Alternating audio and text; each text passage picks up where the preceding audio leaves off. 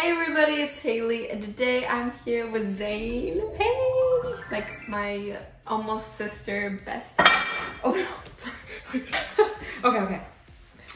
And we're gonna make some nacho dip because she makes a really good nacho dip, and I thought this would be great for the Super Bowl coming up. hmm We call it touchdown taco dip. The Kansas City Chiefs and the 49ers. okay, let us know in the comments which team is your team that you're rooting for at the Super Bowl this year.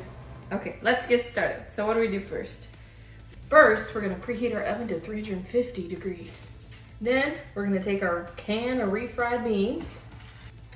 Gotta get the can open. Gotta open it with your teeth. Get in there, everybody. I learned a new way to open cans recently. You like, what do you do? Like this? The top On the top, and then you spin it. I literally, this is bad, but like I grew up in my mom's house and we used the same can opener for years. Yeah. And then we get, when I finally moved out and the part we had to go buy a new can opener and I didn't know how to use it. Like I had to look up a YouTube video. Wait, is it working? I don't even think it's moving. Is it? Hold on. Hold on. No, it hasn't. Hold on. it works, I promise. So much easier, totally. Wow, what a breeze that was. Didn't, didn't take me like 15 minutes. At all. That was really easy. We will put, because taco seasoning is one of the ingredients, half of the taco seasoning, or you know, just season with your heart, into the refried beans, mix it up, and then put it on the bottom. Put all the ingredients in the description. You get that in there real good. Sometimes, because I'm a lazy person, I will just do this in the pan. Oh. And that's one less dish, but you can also just use this same bowl to mix the other ingredients. Hey, that's too, a so smart way to make less dishes. That looks perfect. So then we'll take this little dish and we're gonna make our taco pie. Yeah, and then we're gonna spread it our first layer all over the bottom, like a nice even thin little bean layer.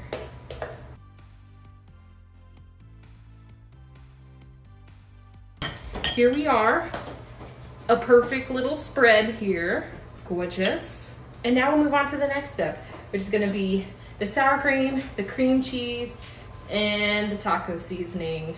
Oh, oh, and the garlic. So we can probably just use this same bowl, but you're gonna wanna, um, I usually will get the cream cheese in like the microwave and soften it because you really want it to be like a, Oh, easy to um, stir. like a very, by the end of it, not like frosting texture, but Mhm. like kind of thinner like that. Mm.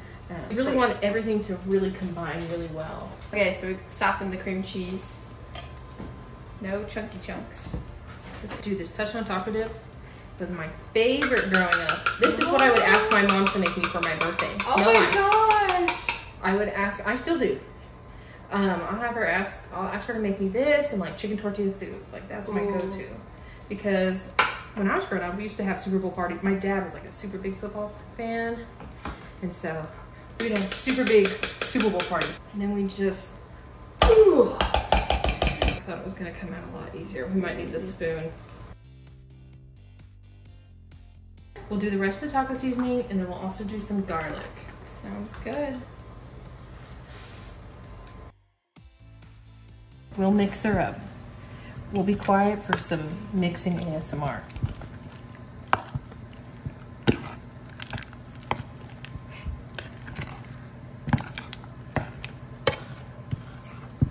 So now you just take it and dump it on the top and spread it out over the top like you did the the beans.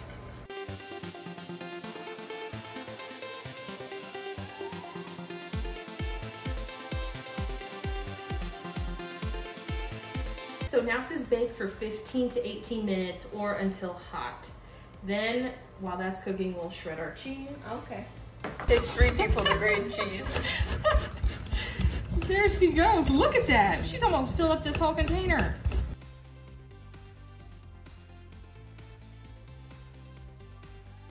Okay, we've been chopping away. Shredding some cheese too. Um, but now that this is out, we're just gonna quickly put the cheese on top and then pop this back in the oven for a couple minutes just to let the cheese melt. Yum. So you can do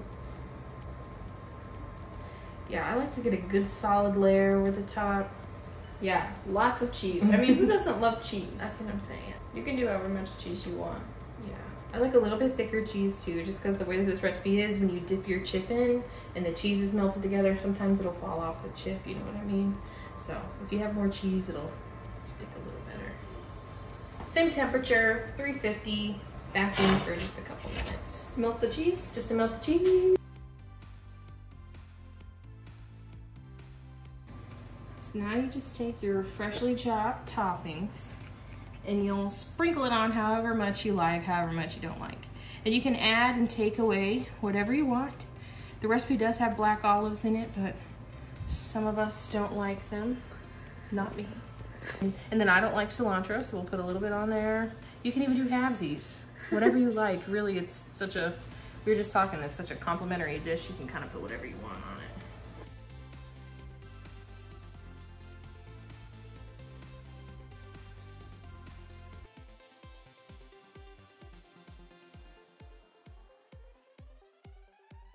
Okay, that's the onions.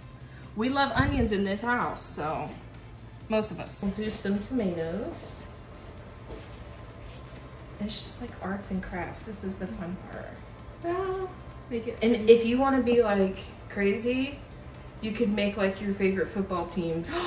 oh, Yeah. make make your favorite football team's logo with the Yeah. green onion. That's People go crazy. idea. And if you do the black olives, even if you don't like them, you could just pick them off your chip or whatever. Or Mhm. usually we'll serve it on a plate and then dip with your chip, you know. yeah, Um, but you can make some really cool art. that's so cool, and it's good because you can Oh yeah, my parents used to go crazy with this. Like you can do whatever you want. when I tell you this was the family dish, like in the Super Bowl parties, my mom would make like real like patterns in it. What? That's Yeah. crazy. Then we'll just do a little dollop of cilantro. Just make it look real pretty. that way you can take it off. It, you know, some people think cilantro tastes like soap, so you don't have to put it. And then, you know, with all the other toppings, you put as much as you want or as little as you want. Mhm. And if you want to, you could just set the toppings on the side. If you have a large group of people coming, Oh, and they that's a could, you know, kind of do their own thing with it. But